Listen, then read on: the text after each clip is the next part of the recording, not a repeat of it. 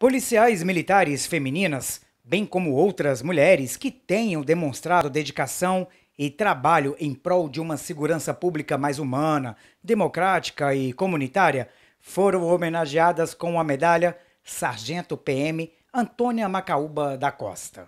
A solenidade do Dia da Mulher Policial Militar foi realizada aqui no Tribunal de Justiça de Mato Grosso. Uma das homenageadas com essa medalha foi a presidente do TJMT, a desembargadora Maria Helena Povas. Também recebeu a honraria a desembargadora Helena Maria Bezerra. A magistrada foi quem realizou a palestra de abertura do evento, que homenageou mais de 50 mulheres. Nós queremos igualdade de direitos, nós queremos respeito, dignidade, que no mesmo cargo, homens e mulheres têm o mesmo salário, que no mesmo cargo tenham uh, uh, o mesmo tratamento por todos. É isso que nós queremos e, e isso também na Polícia Militar, por que não?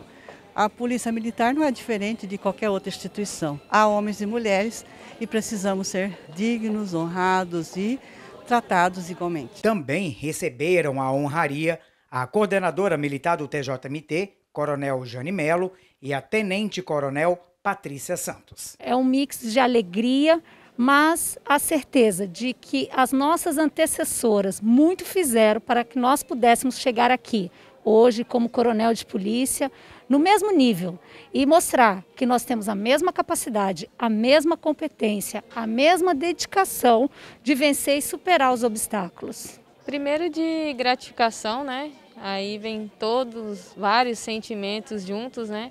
De reconhecimento da instituição. E nós, como mulheres policiais, militares, ser reconhecidas é uma valorização maior, né? O bom trabalho da Polícia Militar é notório.